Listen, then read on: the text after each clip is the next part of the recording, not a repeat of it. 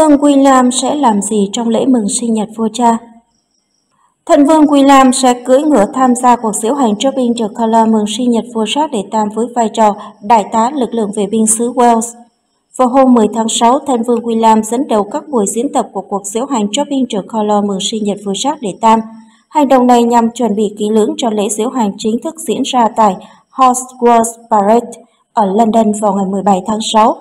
Cuộc diễu hành sẽ đánh dấu sự kiện mừng sinh nhật đầu tiên dưới triều đại vua Jacques đệ Tam, tiếp nối truyền thống lâu đời của Hoàng gia Anh. Thân vương William, đại tá danh dự của lực lượng vệ binh xứ Wales, cưỡi ngựa dẫn đầu đoàn diễu hành xuống đại lộ Trờ Mo trong buổi diễn tập.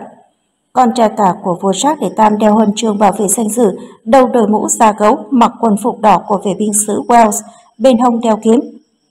Anh xuất hiện với thần thái trang nghiêm, cưỡi ngựa màu đen giữa thời tiết nắng nóng ở London.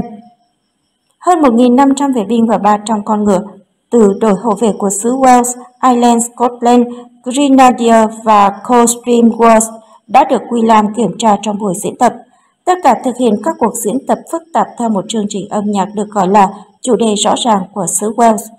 Ngoài ra còn có một số giai điệu mới do các thành viên của ban nhạc vệ binh xứ Wales sáng tác đặc biệt cho dịp này.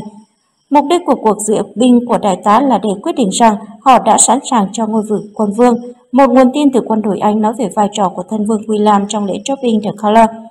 Cuộc diễu hành cũng đánh dấu lần đầu tiên William xuất hiện trong đoàn với tư cách thân vương xứ Wales.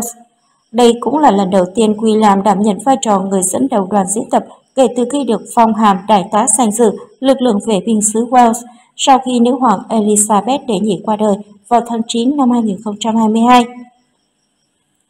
Lễ diễu hành Shopping the Color cuối tuần tới diễn ra trong khoảng thời gian bận rộn của gia đình hoàng gia. Cuộc diễu hành sẽ được tiếp nối vào tuần tới bằng các sự kiện như Order of the Garter tại nhà nguyện St. George của Windsor và các cuộc đua ngựa Royal Ascot.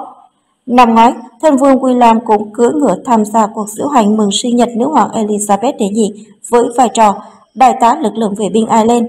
Hiện vai trò này thuộc về vợ anh, vương phi Kate Middleton.